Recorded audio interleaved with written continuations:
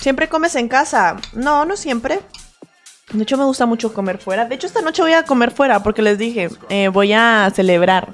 Estoy muy contenta, la verdad.